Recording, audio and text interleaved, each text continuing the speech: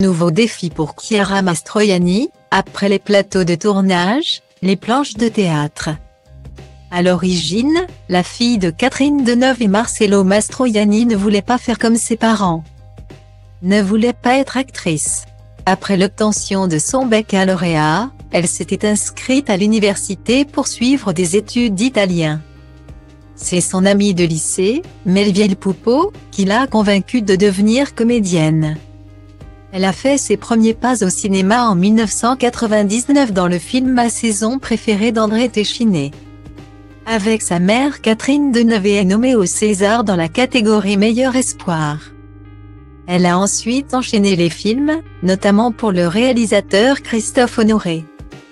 Elle a fait une apparition dans La Belle Personne, en 2008, avant d'avoir le premier rôle dans Non ma fille tu n'iras pas danser.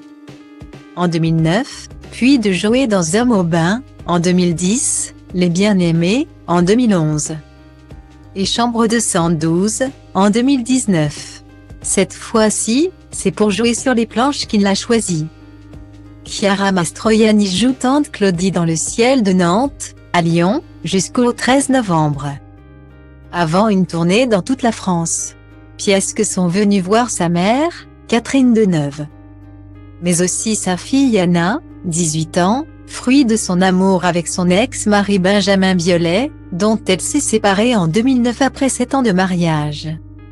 Également présent dans la salle, où ils sont arrivés incognito.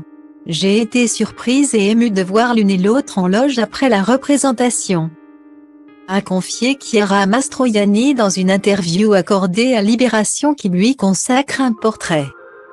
Et d'ajouter, mais, devinant à quel point je devais être angoissée, Catherine Deneuve et ont bien fait de ne pas s'annoncer. Guillemet.